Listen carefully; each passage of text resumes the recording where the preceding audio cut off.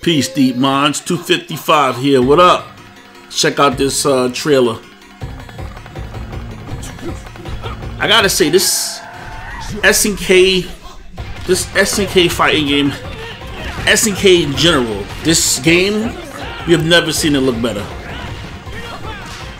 He's got most of his classic moves. Yeah, this is this game right now was looking like it, it is going to be a big hit in 2021 uh, if it comes out in 2021 because it has so many good characters that they've been building up for all these years and they finally did the thing they needed to which was make sure that these characters look good. That's something we that's where they were lacking. I don't, I don't see that right now. I do not see that right now shatter all expectations. And uh, these are classic characters that they have. I wonder what they're going to do with the new characters they're going to bring in and how good they're going to have them integrate into the cast.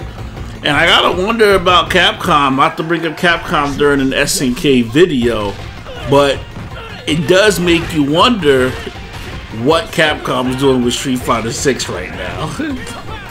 um, because they've got to be looking at what Guilty Gear is doing, uh, Arc System. They got to see how SNK is building up this game, and the the way Dragon Ball FighterZ is going, Capcom is going to have to come out hard with Street Fighter 6 to stand out. Yes, it's Street Fighter, and there's endless amount of fans, and everybody that's playing another fighting game has either played Street Fighter, knows about it, but for it to really stand out, it's got to be able to compete with this stuff. Anyway, uh, Joe Higashi looks good. I still like Benimaru's trailer the most, but uh, good job, SNK. 255 out. Peace.